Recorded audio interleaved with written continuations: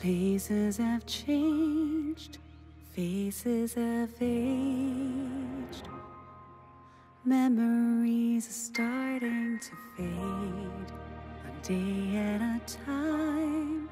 Remember, I'm here with you.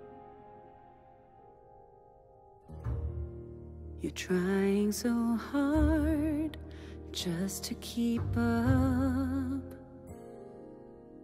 Every day's a chance to restart. I'll still be here trying to pull you through. Every word that's forgotten, every note left unsung. Trust in me, just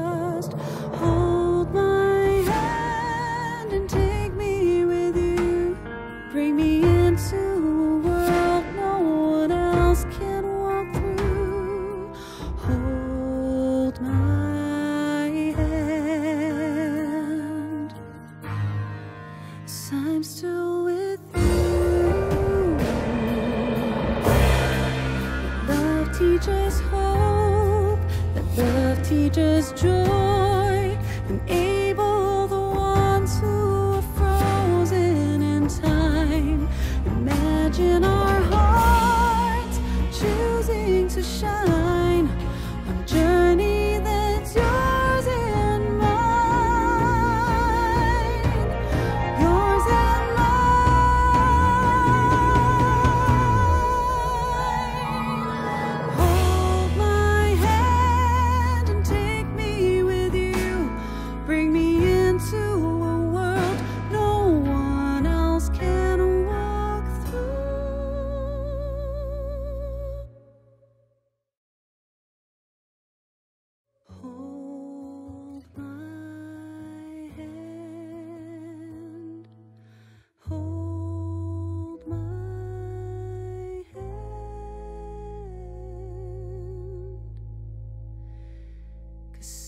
I'm still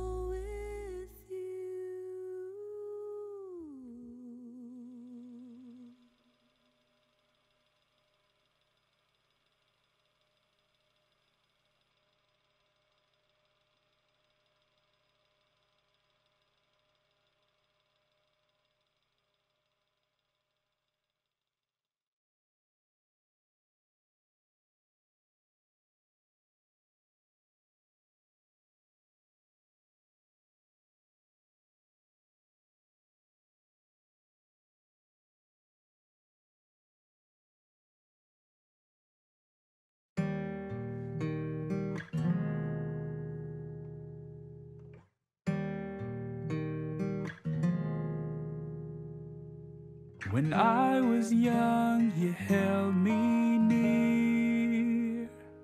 Storms would pass, and I never fear. Your smile and kisses I'd hold so dear helped me to be strong. Remember places we've explored, sights and sounds above us all.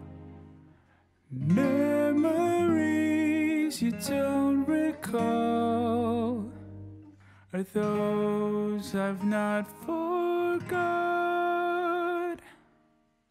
When we cannot see, doesn't mean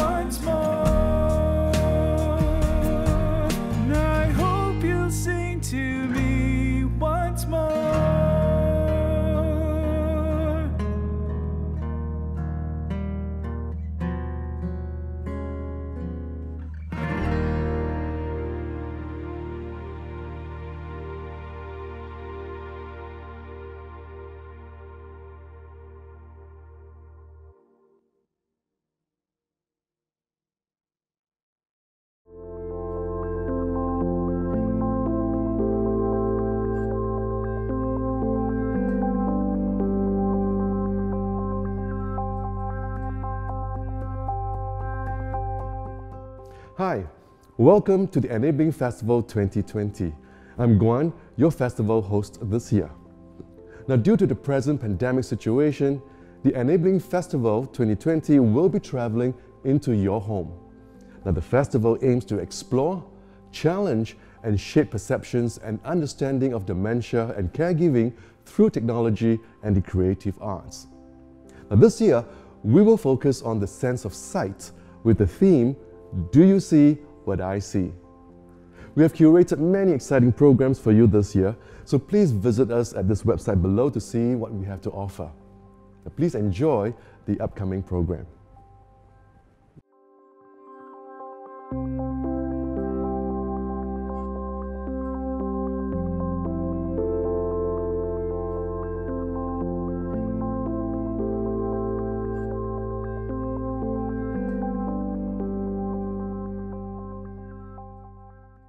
Welcome to the Enabling Festival 2020 Insight.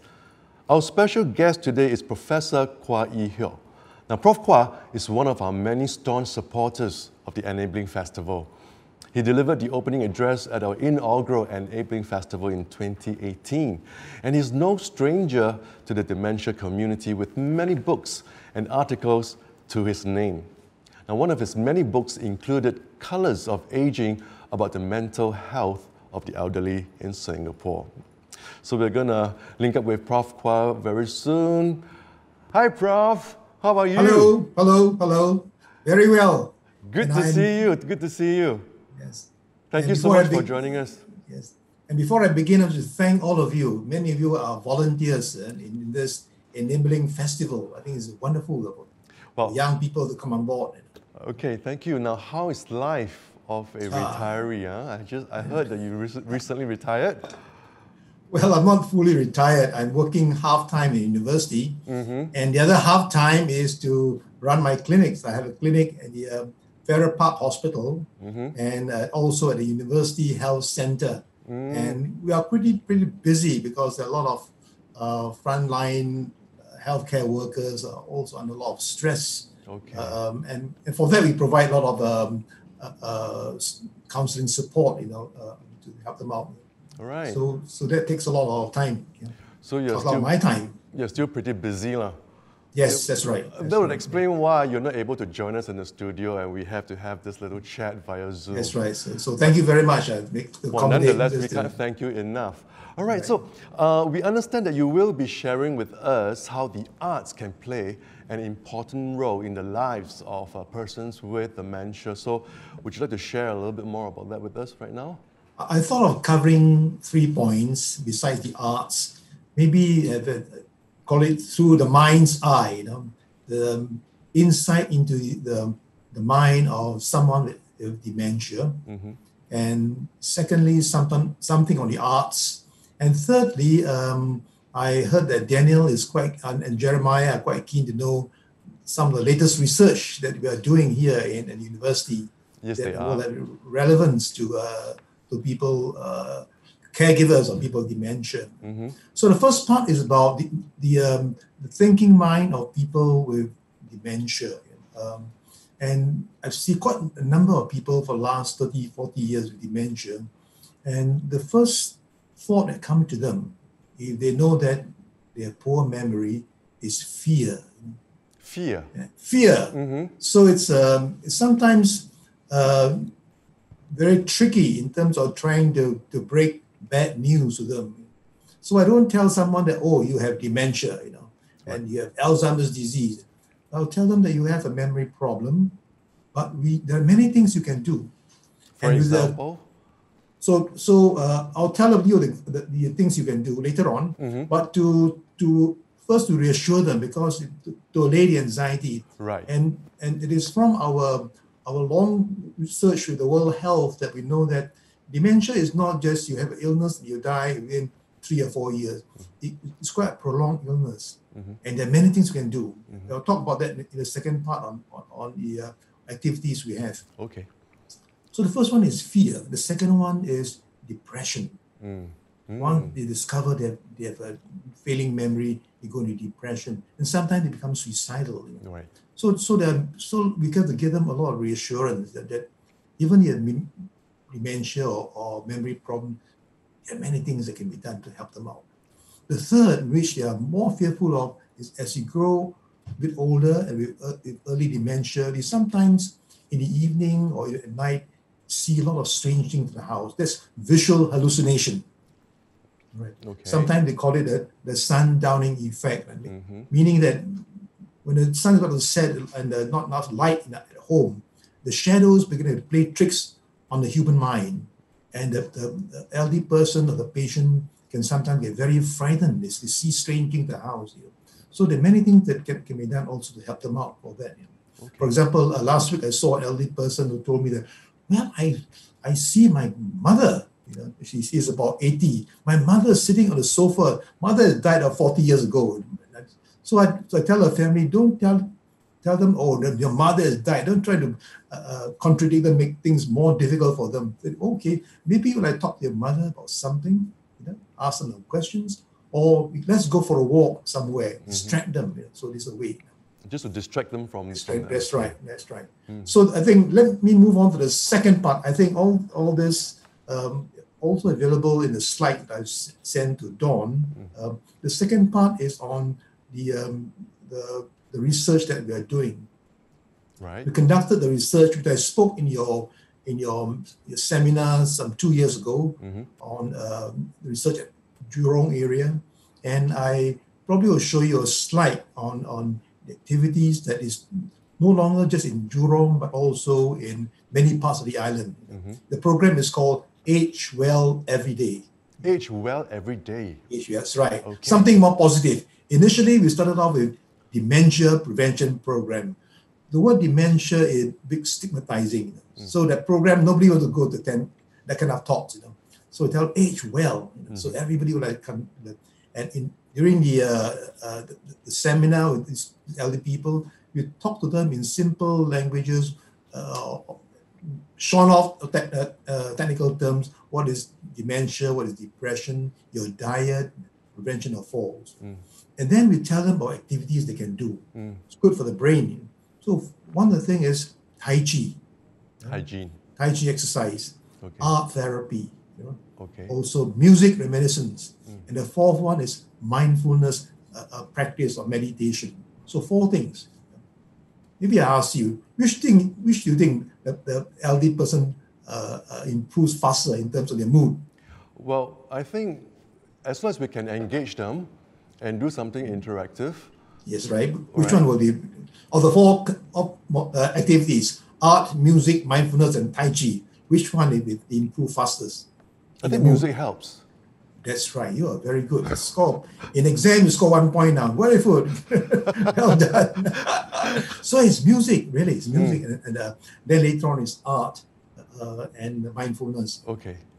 Okay, and then um, let us move on to to later on. I think Don will show you some pictures on what we show. Uh, the art therapy uh, came about um, partly because of the uh, um, encouragement of our friend Professor Tommy Koh. Tommy Koh, some years ago, was in charge of the museum. Asked me whether I was interested to do a study on art and people with dementia because um, there was uh, a research. I think it's still on in New York on on uh, art and dementia, in which they bring elderly people with dementia to the museum of modern art, and and uh, to see whether it will prevent a rapid deterioration, Okay. uh, uh, so that they would uh, so they have good quality of life. And then I told uh, Professor Koh that maybe we should do something better than the New Yorkers because um, we will see the people, we will bring people who are high risk of dementia uh, to the National Gallery, and then we scan the brain, MRI scanning the brain before and after the uh, the visit, you know, and we conducted a six month study Oh, okay. and the, and the uh, results been published, the first study in the world, you know, here, so that my, showed that people who who, uh, who visit the, the, the um, art gallery and look at paintings, the Singapore study is obviously much more interesting than the American study, in which we don't show them pictures of Picasso, you know, show them paintings of of Singapore in the 1960s and 50s that old people can identify with. Can It's a bit of- to, right? Yeah. Exactly. It's a bit of a, a reminiscence. So there's a painting called Upper Nama Awa. Upper What Nama is- Wa. Upper is what, Nama is name, Awa is you. Ah, What is okay. your name? What is your name? Okay, okay. Okay. So if, if an elderly person in, in uh, Jurong or, or those uh, who are the, who are the 60s or 70s look at the painting, they know it's in the 1960s because between 1963 and 65, Singapore and Malaysia were one country. Right. And the Malaysian government decreed that all students must study Malay, you mm. know, and therefore we try and pick up. So it's a tuition class, and so they, they will talk about the days they, they study Malay language, they sing the Negaraku, the Malay songs, and all that. So there's all reminiscence. Another painting which you showed was hawkers in Chinatown running away from the health inspectors, and this is a a beautiful painting, and I hope you all will see that painting. Okay. It- in fact, it's in the Channel News Asia, you know, in the, in the program. Hmm. And it's very interesting because if you show it to a lot of people who are in their 60s or- or 50s, they will tell you that yes, there's a common scene in, in, in Singapore, even in Malaysia. The health inspector will come and chase away all the hawkers. Most of them don't have a license. You know. This, that's where the phrase uh, "picture paints a thousand words" come into play, isn't That's it? right. You just right. take a look at the painting, and then you know what, what it's all about. Exactly. And they can identify those times when they're very poor. You know. Right. Some of them are hawkers, and- it's ah, that's the time I was poor. I was trying to eke up a living, and then um, and in, in many in, in some instances you must you must bribe the healthcare inspectors. Right. Then I know I, I I'm brought up in Malaysia. They tell you not only bribe the inspectors, you got to bribe the gangster. They come and harass you. You know. Hmm. And the third group, the policemen, they come and harass you. So you got to pay three group of people, and hmm. it- it's great tough life for them. But now they survived. Hmm. So, so uh, the painting itself, the reminiscence, and then we and they feel very happy that they're coming to the National Gallery. And I, I hope more people go to National Gallery. It's a beautiful gallery, and all the paintings down there that you can enjoy. Okay. Okay. Right. So the, the the third part of it is the research that we're conducting. A new area of research um, uh, that will tremendous uh, impact on people's life is on gardening. We found that gardening not only improve uh, uh, the mood of the person and also improve reduce anxiety, improve also your immune system. Then you're less prone to have infection. We're not talking about COVID. We know most of them uh, don't have cough and cold after that. You know, wonderful old people. Right. From there, we move on to another study in which we um, we bring a group of old people, seniors, to the botanic gardens, into the rainforest. It's called forest therapy. You know. Forest therapy. therapy. So not only be able to walk through the forest, improve their physical health, the mental health, because they go to there's so much tranquility, and they walk mindfully. Mhm, They- mhm, and, and we have somebody to, to follow them, a guide, to show them what's the name of this tree. Oh, that tree is called the Tembusu tree. That's the Jelutong tree. You know, so all these names of trees you're familiar, you are more familiar with it. Admire the flowers. You know. So I think as you go to the forest, sometimes you just walk through without understanding, without knowing the names of all the various kind of, of flora, flora and fauna. I think that's very good for them. And realized that after after walking for about about 10 weeks, they begin to love the forest so much, they don- gave some donation to the national parks and planted 30 medicinal trees. So this is very important because they, they this love for nature, you know, is because we realize that part of the problem of global warming, people are destroying the rainforests. mm. And I hope you all know, you will realize that there are only two cities in the world in which there's a rainforest in the city. And the two cities are Singapore and Rio de Janeiro. Wow. Imagine it, yeah. Okay. In, in a botanic gardens, the rainforest is mm. fantastic. Mm. All right. Many countries, they destroy the rainforest you know, for development, but then they cause of global warming. So this is very important for us to admire and love it. Okay. Then the, another important study or relevance to caregivers is we're going to find out how uh, um, we can help families um, to uh, take care of elderly people. Um, I'm quite uh, uh, impressed with Daniel. I think you, Jeremiah, look after the parents, you know, uh, Daniel's parents with dementia. Uh, oh, that'll be Daniel and Danny.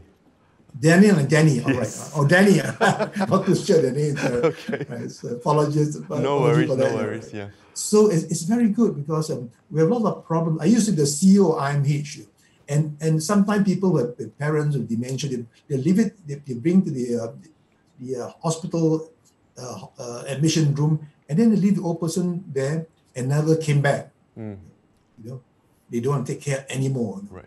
So I think that, that's bad. I think we should look after our, our old uh, relatives, you know, who look after us when we were, when we were very young. Mm, And um, so we're doing a study of how we can build up this kind of intergeneration bonding. yeah, um, and it, I realized that sometimes a lot of young people don't know about their family people. You know, uh, um, last week I saw an undergraduate in NUS, and I- and I asked him, "What does your father do?" He said, "I'm not too sure." You know. Oh, So what do you mean? I know he works in he, he works in as an engineer, but where? I'm not too sure. You know. Mm. So he said, so I asked him, do you have a dinner with your family? No, we eat our own in our own room. You know? So they don't know each other. If I don't know each other, why do you want to take care of him Mm, from that mm, point of mm. view? Right. And so try and build a bonding to into doing a study, you know, how the, the child will ask the elderly uh, father or, or mother, you know, tell us the story of your life Right. so that they understand. You know, many are parents who are, in, who are baby boomers now in their 60s, in their youth, gone through very difficult time. Singapore at the time was then quite Tough poor, period. third world. Mm, So we're trying to build up that kind of, kind of study. You know. okay. And I think that the, the end of it, the last uh, uh, slide will show you a painting. Uh, later on, Don will show you a painting of, um, of a, a house and an oak tree. you know. Um, and this, this is the most fa- this is the most expensive painting in Singapore. Have you seen it? No. no. I don't think you've seen it. And I, and I, and I happen to own I happen to own this painting. Okay. I'll tell you why I come come to own this painting. Wow. Well, some uh, some almost 45 years ago, when I was training as a psychiatrist at Oxford, I was told that I must be analyzed by the psychiatrist before you start your training. Wow. Uh, so I, I said, um, where shall I go for analysis? They told me, oh, you must go to North London to a place at Hampstead Heath, a clinic called the Anna Freud Clinic. Anna Freud, the daughter of Sigmund Freud. Then I asked them, how much is it? They said, 50 pounds. Those days, uh, 50 pounds is a lot of money. You know? So I said, oh, I can't afford it. So I was told that in that case, you do a painting. So I did a painting. You and then the, you did this, I did this painting. Oh wow. Okay. It's, it's called An Undefeated Mind. It's a Okay. painting, it's a house down there, there's an oak tree, and there are a lot of waves down there. So the, the art therapist asked me, What is this house about? I said, That's not just a house, it's a home, a family. Chinese perspective, the family is very, very important. Right. And what about the oak tree? The oak tree are values in life filial piety, compassion, integrity. And these values are very important. As we go through life and even to this time of the uh, COVID 19 pandemic, all these values are very important in our lives to care for people, you know, without which the whole society will crumble. you know. So, so these are things that I, I spoke about them. And, and the art therapist was very glad that I'm very happy with you. Okay, you can join us as a trainee in Oxford. Whoa, okay. okay, right. so that's, that's these are the things that we think about, and, and- I think I, I hope you- your your festival will be a great success. You know? Yeah, and, and so thank you very much.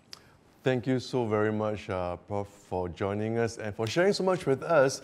And we really hope that uh, the caregivers who are actually with us watching this would also walk away with some new uh, objectives, perhaps, you know, in giving the, uh, the care uh, to their loved ones. lah. All right. So once again, thank you very much, uh, Prof. Thank you very much. Thank you very And much. Right. Thank you. And this concludes our segment on Insight. Now, if you have any questions for Prof. Kua, or if you wish to find out more about the Enabling Festival 2020, please visit us at our Facebook page, Instagram, or website to see what we have lined up for you. Do drop us a message on any of the social media platforms. So once again, thank you and Thank thank you. you, Prof. Thank you. Thank you. Thank you. Thank you for watching our program. We hope you can help us to fill in a simple survey using the QR code provided at the end of the program. Now, this will help us to improve as well as to fulfill our funding requirements from our various funders. Please help. Now, if you have any questions or if you wish to find out more about the Enabling Festival 2020, please visit our Facebook page, Instagram, and website to see what we have lined up for you. Drop us a message on any of the social media platforms. You can also write to enablingfestival at gmail.com and our colleagues will reply to you as soon as they can. Take care and stay safe. Hi, I'm Daniel, I'm Danny. and we're the co founders of the Enabling Festival 2020.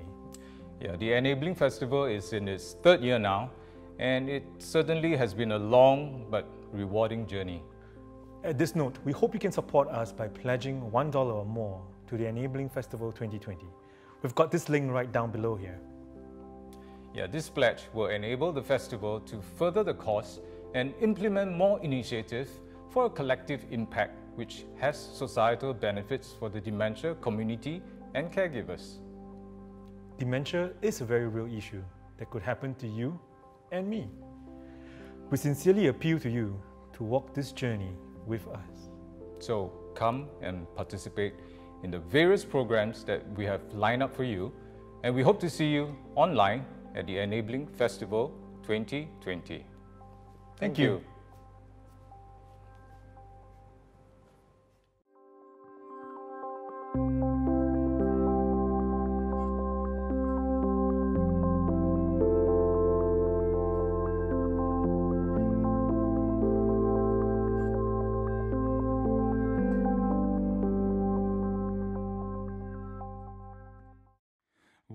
Cannot see, doesn't mean